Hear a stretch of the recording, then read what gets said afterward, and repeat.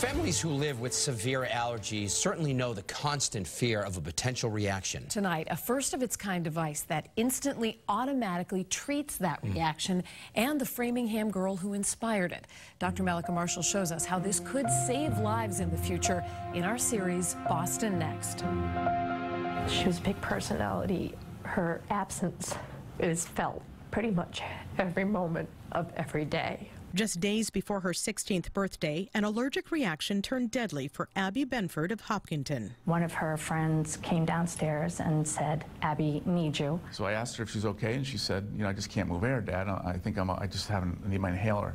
But it didn't occur to me that it was an anaphylactic reaction. Abbie had lived her whole life with severe allergies, but this attack was different. Abbie's first symptom that day was indigestion. So you're not going to give anybody an EpiPen uh, for, to treat indigestion. Six minute window, she went from difficulty breathing to life threatening situation. Abbie never regained consciousness. Even under the weight of incredible grief, Abbie's parents, Amy and Stephen, were compelled to take action. And our motivation was to do something, do something to save lives. The Benfords launched the Keep Smiling for Abbie Foundation, and their funding kickstarted Project Abbie at the Wyss Institute in Boston. Uh, this is our compact wearable smart auto injector. And why is it called Abbie? We want to keep our, ourselves motivated and then keep connected to the Abbie story. The device delivers life-saving epinephrine with one major difference. The patient doesn't have to actually take it away from their body. No one has to thrust the needle into the patient and then pull it back out. The needle itself does all the work. The device itself automatically retracts the needle, so which is something that like you don't also see in any other device. Users can even activate the dose through a smartphone if needed. That same app can help you locate the device Now you hear the voice, sound, and then you know where it is. And instantly text a parent about the reaction.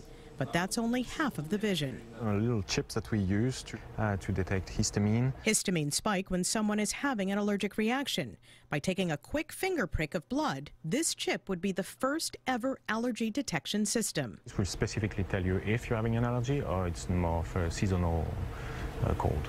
Separately, these devices could be on the market within two years, but the ultimate goal is to combine both technologies into one small wearable device. Really great that they've got a picture of Abbie on there that sort of personalizes the problem. Abbie's name on the device and photos on the wall provide a constant reminder of what's at stake. I want my daughter back.